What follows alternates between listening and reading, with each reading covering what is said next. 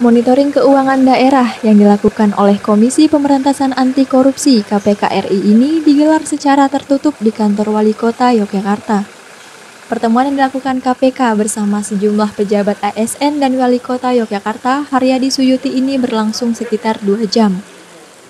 Ditemui usai pertemuan, Wali Kota Yogyakarta Haryati Suyuti mengatakan kegiatan ini bagian dari laporan capaian yang dilakukan bersamaan situasi ekonomi dan pariwisata yang mulai menggeliat di masa pandemi COVID-19.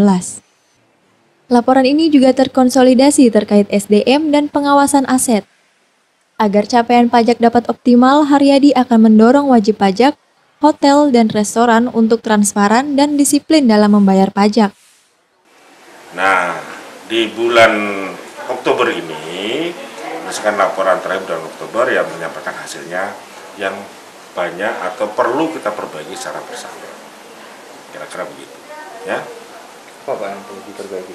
Ya, semua aspek NCP, gitu misalnya capaian kaitannya dengan apa uh, optimalisasi pajak, pengadaan barang jasa, SDM, pengawasan aset, ya dan lain sebagainya itu. Pernyataan Wali Kota Yogyakarta ini juga untuk menjawab sejumlah permintaan pengelola hotel dan restoran di Kota Yogyakarta yang berharap adanya kelonggaran pembayaran pajak karena belum semua usaha di sektor pariwisata pulih setelah terpuruknya akibat COVID-19. Hari Atmaja, Jogja TV